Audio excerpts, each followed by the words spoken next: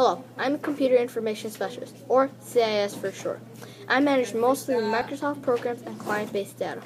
Being a computer information specialist takes a lot of Microsoft and computer courses, but it is not all Microsoft. There are different courses for Mac and Gateway. Most computer specialists earn about $37.02 an hour.